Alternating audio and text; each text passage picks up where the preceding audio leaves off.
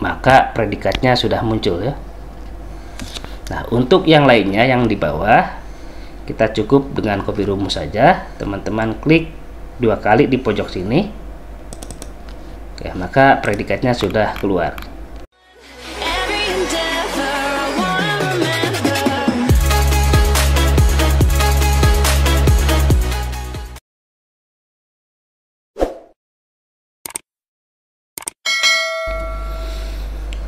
Assalamualaikum warahmatullahi wabarakatuh. Halo semua, jumpa kembali bersama saya Rohiman di channel Rohiman Tutorial. Kali ini saya akan sharing kepada teman-teman yaitu bagaimana cara membuat predikat nilai di Excel dengan menggunakan rumus if. Oke, kita langsung saja menuju ke caranya. Saya sudah ada contoh nilai dari 26 siswa Nah, di sini saya akan berikan predikatnya secara otomatis dengan menggunakan rumus if dengan kriteria seperti ini.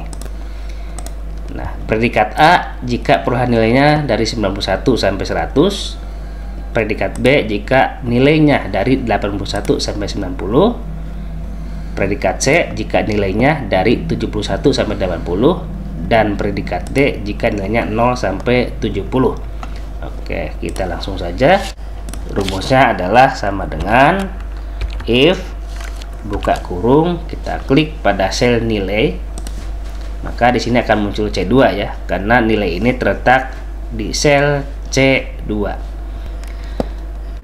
jika C2 lebih besar dari 90 artinya jika nilainya di atas 90 ya 91 dan seterusnya maka titik koma atau tergantung dari perintah di Excel teman-teman ya. Bisa koma atau titik koma. Kalau di saya kebetulan formatnya titik koma.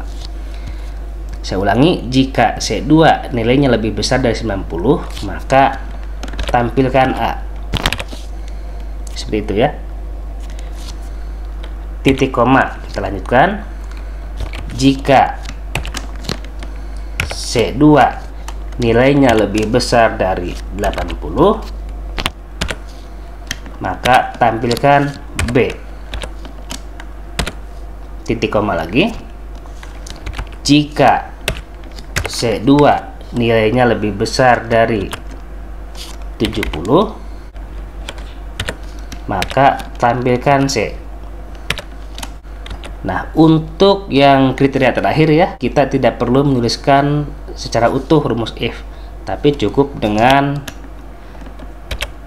tanda petik kemudian D seperti ini ya. Petik lagi. Artinya jika selain ketiga kriteria yang tadi ya maka tampilkan D. Jika sudah kita tutup kurung sebanyak tiga kali. Kemudian enter. Maka predikatnya sudah muncul ya. Nah untuk yang lainnya yang di bawah kita cukup dengan copy rumus saja. Teman-teman klik dua kali di pojok sini. Oke, maka predikatnya sudah keluar. Oke, jadi seperti itu teman-teman ya.